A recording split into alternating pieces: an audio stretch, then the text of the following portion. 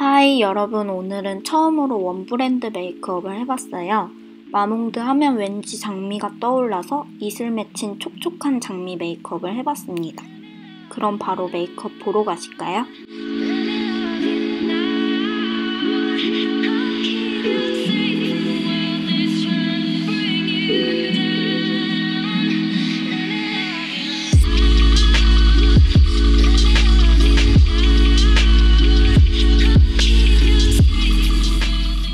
먼저 촉촉한 베이스를 바르고 시작할 건데요. 이 베이스는 안에 glow ball이 터져 나오면서 바르면 건강해 보이고 촉촉 쫀쫀한 피부로 마무리되더라고요.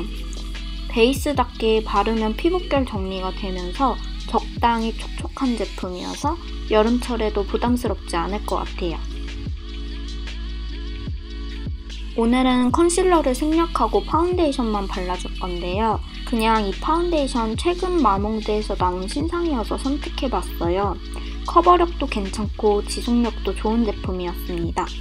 저는 개인적으로 상아빛이 도는 너무 밝지 않은 21호 색상인 게 마음에 들었어요. 컨실러를 하지 않기 때문에 얇게 여러 번에 걸쳐 피부에 얹어줬습니다. 그리고 촉촉함을 머금은 피부 표현을 위해서 물 먹인 스펀지를 사용해줬어요.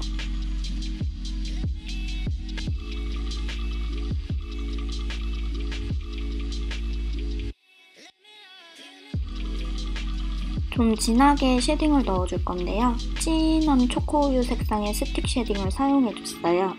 얼굴 외곽하고 이마 부분에 쓱쓱 칠해주고 손가락에 조금 묻혀 코 음영을 넣어줬습니다.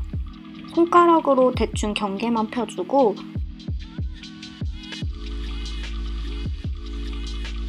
물 먹인 스펀지로 블렌딩을 해줬어요. 다시 한번 손가락에 제품을 묻혀 콧대 음영을 한 번 더 넣어주면서 eye hole 음영도 같이 넣어줄게요.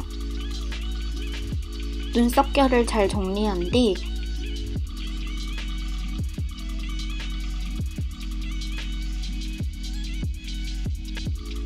오늘 눈썹은 너무 두껍지 않으면서 최대한 제 눈썹 모양에 맞춰 그려줄게요. 손목에 힘을 빼고 brow 끝부분을 잡은 뒤 눈썹 뒷부분부터 그려주고 중간중간 스크류 브러쉬로 정리해가면서 결을 살려 그려줬습니다.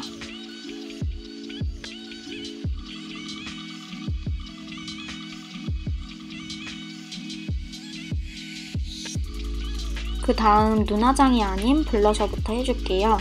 맑은 레드빛의 블러셔를 사용해 볼 중앙부터 살짝 광대 쪽으로 올라가 타원형 모양의 블러셔를 해주고 눈두덩이에도 쓸어 붉은빛이 도는 눈을 만들어줄게요. 남은 양으로 이마와 코, 턱에도 살짝 쓸어 붉은빛이 잘 어우러지게 해줍니다.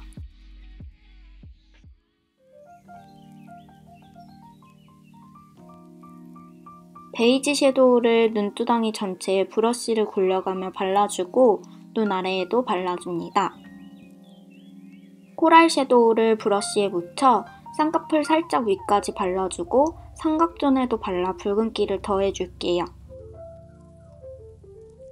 그 다음 브라운 섀도우로 눈 끝부분에 굴려가며 발라주고 남은 양으로는 eye hole 라인을 쓸어줍니다. 삼각존도 채워 음영을 더해줄게요.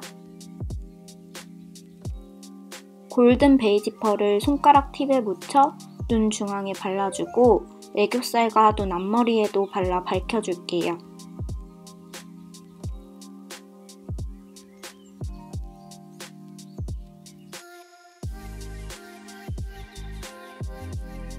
로즈 브라운 컬러의 젤 아이라인을 사용해 눈 점막을 먼저 채워주고 눈 끝부분이 살짝 두꺼우면서 꼬리가 내려간 아이라인을 그려줄게요. 눈 가운데 부분도 얇게 라인을 그려주었고 눈 앞부분은 살짝 두껍게 라인을 그려줬습니다. 뷰러를 해준 뒤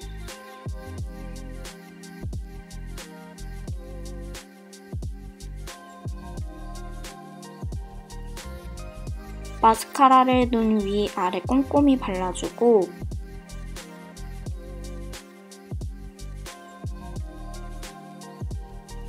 속눈썹 고데기를 사용해서 다시 한번 바짝 속눈썹을 올려줬어요.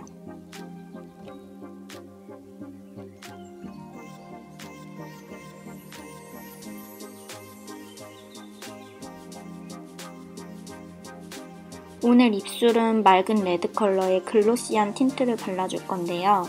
일단 내장된 팁으로 입술 중앙에 펴발라주고 총알 브러쉬를 사용해서 입술 살짝 바깥쪽까지 자연스럽게 퍼뜨려줍니다. 이때 입술 산을 살려주지 않고 뭉툭하게 발라줄게요.